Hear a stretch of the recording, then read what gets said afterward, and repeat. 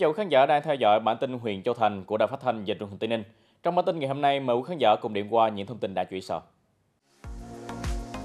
Châu Thành tổng kết tháng thanh niên năm 2023. Phát động tháng công nhân và tháng hành động về an toàn vệ sinh lao động năm 2023. Ra quân khăn hồng tình nguyện chấp cánh ước mơ.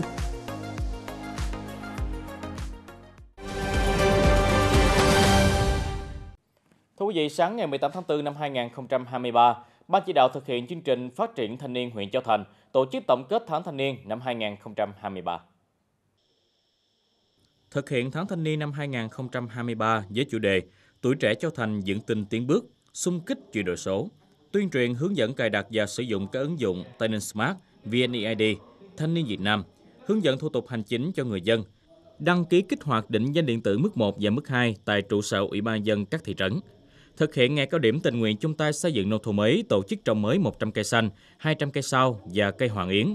phát 300 túi thân thiện môi trường và khởi công xây tặng một căn nhà khăn hoàng đỏ trị giá 60 triệu đồng. Tổ chức dọn dẹp vệ sinh và phát quang và cấm 10 bản cấm đồ rác tại các điểm nóng và các tuyến đường giao thông nông thôn. Bên cạnh đó, hưởng ứng các hoạt động trong chương trình tháng 3 biên giới, các xã thị trấn đã tổ chức giao lưu với bộ đội biên phòng và trao tặng 10 phần quà cho các chốt biên phòng và chốt dân quân, trao tặng 10 suất học bổng và 5 xe đạp cho học sinh khó khăn vùng biên giới. Tại buổi lễ, Ủy ban dân huyện Châu Thành khen thưởng cho 5 tập thể 7 cá nhân có thành tích xuất sắc trong công tác tháng thanh niên năm 2023. Tối ngày 15 tháng 4 năm 2023, Liên đoàn Lao động huyện Châu Thành tổ chức lễ phát động tháng công nhân và tháng hành động về an toàn vệ sinh lao động năm 2023. Đến dự có ông Phan Nhân Bua, Phó Chủ tịch Liên đoàn Lao động tỉnh. Với chủ đề của tháng công dân năm 2023 là kết nối công dân xây dựng tổ chức, còn chủ đề tháng hành động về an toàn vệ sinh lao động năm 2023 là tăng cường xây dựng quy trình biện pháp làm việc an toàn và cải thiện điều kiện lao động, giảm căng thẳng tại nơi làm việc. Tại buổi lễ phát động, Liên đoàn Lao động huyện Châu Thành đã trao tặng 60 phần quà, mỗi phần quà trị giá 500.000 đồng tiền mặt cho đoàn viên công nhân lao động của các công đoàn cơ sở doanh nghiệp có hoàn cảnh khó khăn, bị tai nạn lao động. Nhằm chăm lo cho các em thiếu nhi được tham gia vui chơi, đặc biệt thiếu nhi có hoàn cảnh khó khăn, sáng ngày 15 tháng 4 năm 2023, tại xã Ninh Điền, Hội đồng đội huyện Châu Thành tổ chức ra quân khăn hồng tình nguyện, chấp cánh ước mơ năm học 2022-2023.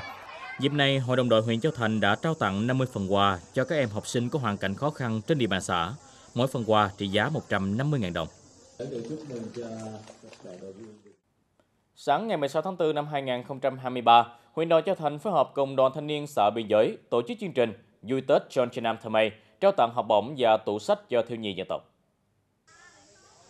Sáng ngày 16 tháng 4, huyện đoàn Châu Thành phối hợp cùng đoàn thanh niên xã biên giới tổ chức chương trình Vui Tết John Chinam Nam Thơ Bay, trao tặng học bổng và tủ sách cho thiếu nhi dân tộc.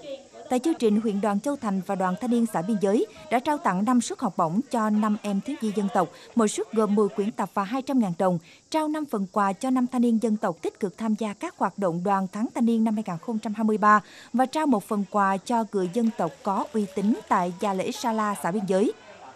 Bên cạnh đó, huyện đoàn Châu Thành đã trao tặng một tủ sách với hơn 100 đầu sách các loại, phục vụ cho các em thiếu nhi dân tộc khu vực xã biên giới. Ủy ban nhân dân thị trấn Châu Thành vừa triển khai thực hiện mô hình hướng dẫn tuyên truyền tổ chức cá nhân nộp hồ sơ thủ tục hành chính trực tuyến trên cổng dịch vụ công quốc gia. Ủy ban nhân dân thị trấn Châu Thành vừa triển khai thực hiện mô hình hướng dẫn tuyên truyền tổ chức cá nhân nộp hồ sơ thủ tục hành chính trực tuyến trên cổng dịch vụ công quốc gia. Mô hình hướng dẫn tuyên truyền tổ chức cá nhân nộp hồ sơ thủ tục hành chính trực tuyến trên cổng dịch vụ công quốc gia trên địa bàn thị trấn bắt đầu thực hiện từ tháng 4 năm 2023 theo đó, Ủy ban dân thị trấn Châu Thành sẽ thành lập đội tình nguyện thực hiện việc tuyên truyền, hướng dẫn tổ chức cá nhân tạo tài khoản và nộp hồ sơ trên cổng dịch vụ công, mở tài khoản nhận thanh toán phí và lệ phí trên cổng dịch vụ công quốc gia. Bộ phận một cửa thị trấn trực tiếp hướng dẫn cho tổ chức cá nhân đăng ký tạo tài khoản và nộp hồ sơ qua cổng dịch vụ công trực tuyến của tỉnh. Thưa quý khán giả, những thông tin vừa rồi cũng đã khép lại bản tin huyện Châu Thành hôm nay. Chương trình được phát sóng vào lúc 16 giờ 45 phút thứ hai, thứ tư và thứ sáu hàng tuần và các hạ tầng của TTV11. Mến chào tạm biệt và hẹn gặp lại quý khán giả trong các bản tin tiếp theo.